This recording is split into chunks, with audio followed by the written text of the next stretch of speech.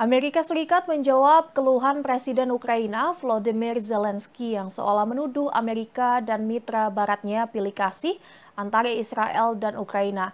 Zelensky memuji Amerika Serikat bersama Inggris dan Prancis yang kompak mengerahkan jet tempur untuk melumpuhkan rudal balistik Iran yang diluncurkan oleh Israel. Ia berharap Amerika Serikat dan mitra baratnya bisa melakukan hal yang sama terhadap Ukraina untuk melawan Rusia.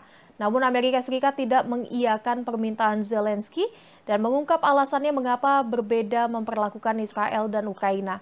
Juru bicara keamanan nasional Gedung Putih John Kirby mengatakan konflik Iran, Israel, dan Ukraina Rusia berbeda, di mana wilayah udaranya juga berbeda. Selain itu, Presiden Amerika Serikat Joe Biden juga memastikan tidak akan terlibat konflik antara Ukraina dan Rusia.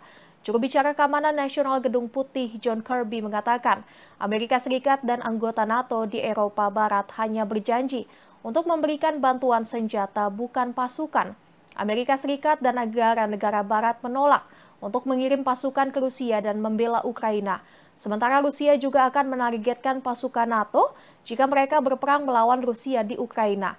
Menteri Luar Negeri Inggris David Cameron juga menilai Ukraina lebih membutuhkan bantuan sistem pertahanan udara daripada bantuan untuk menembak rudal Rusia.